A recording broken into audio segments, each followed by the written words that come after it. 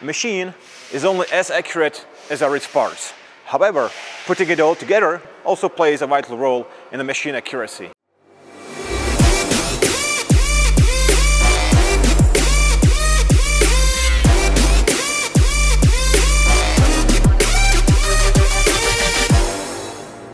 But with machines, there will always be errors, and we have to try to distribute them into various assemblies.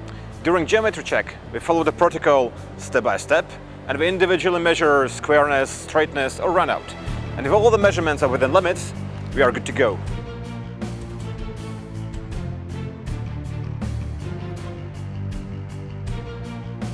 And to measure all of these deviations simultaneously, we've got to have the balls.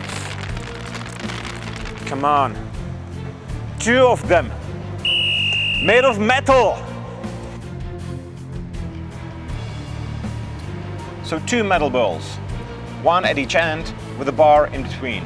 The device is called ball bar. It's an accurate linear sensor that we use to measure circle interpolation. The balls are kept in place by magnets. One ball is at the spindle, while the other is at the table. This arrangement enables the ball bar to measure the smallest variations in radius as the machine follows a circular path around the mount which is attached to the table.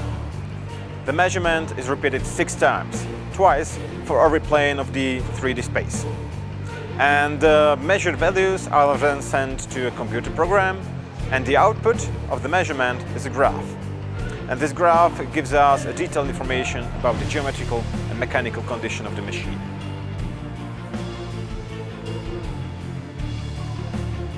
What is your favorite position? Mine is the precise one. We determine precise position with linear scales, and we determine their precision with laser.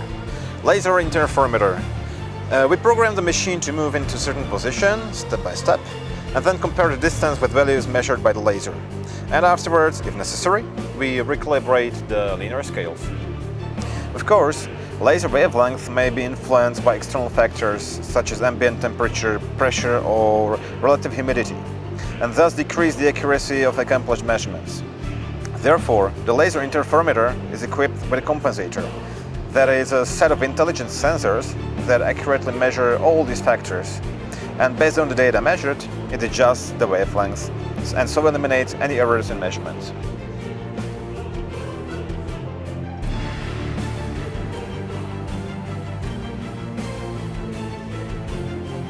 The output of both measurements, laser and ball bar, tell us whether the machine is in need of any mechanical corrections, software compensations or exchange of parts. And also it helps us to achieve standards guaranteed by the VDI norms.